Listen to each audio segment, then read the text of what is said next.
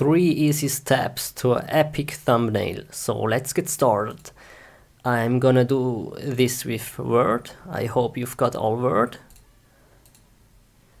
Open a blank document, set orientation to landscape, type in, for example, thumbnail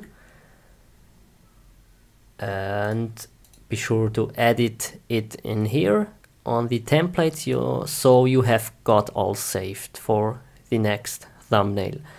Now set for example font size to 100 and I'm gonna choose HVD Comic Serif Pro. Now go over text effects, fill it with two colors, so delete two of them. I'm gonna choose orange and yellow, maybe like this. Go over here, text effects. Then we are gonna do a little shadow like this. Transparency maybe like this. And 3D format. Top bevel. I'm gonna choose circle with size to hmm, let's say 5 and height to 5 also. Then we are gonna do a border or contour to 2 pixels. Okay. Then you're finished with the font. So next step is to create an epic picture. So I'm gonna choose this one edit in Picasa. I choose this tool, it's free, it's from Google.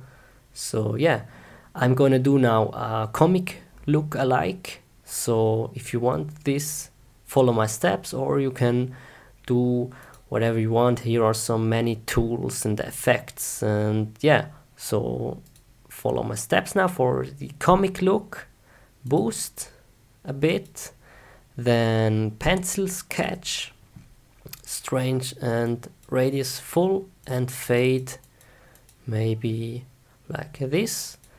Then comic book, if you want to have any dots, let it in here. I'm gonna disable it and color brush, yeah, maybe like this. Then Next step is to sharpen it a bit. Like this. And you can tune it a bit, set it brighter, highlights, shadows, whatever. And I see there's a little shadow on the apple. I'm gonna retouch it a bit. But anyway, you can see it. Uh, the thumbnail is so small.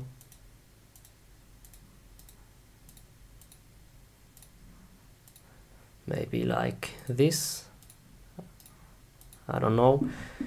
Apply. And there you have it. Now paste in the picture into Word. Like this. And set layout options to behind text text. And yeah. So what I'm gonna do now is maybe set it like this. I'm gonna do now some uniqueness. So your viewers recognize you. Ah that's you always do that. It's very important. I'm gonna do now a little frame simple frame like this and edit a bit. No shadow.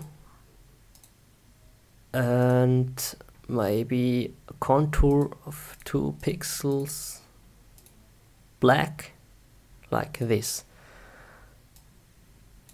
So yeah. There you have it. Your thumbnail.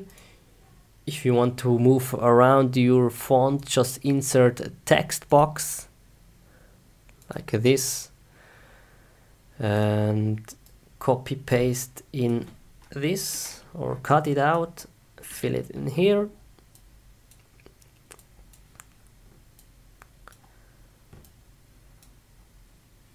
now right click format shape no fill no line. So you can move it around like crazy if you want or turn it around whatever.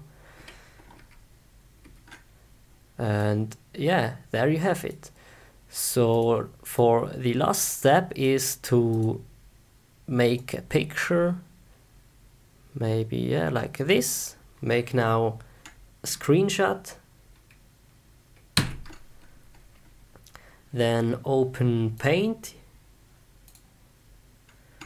Paste it. And now if you have to cut it out I'm gonna do it like this. Use arrow keys. And cut it out here and here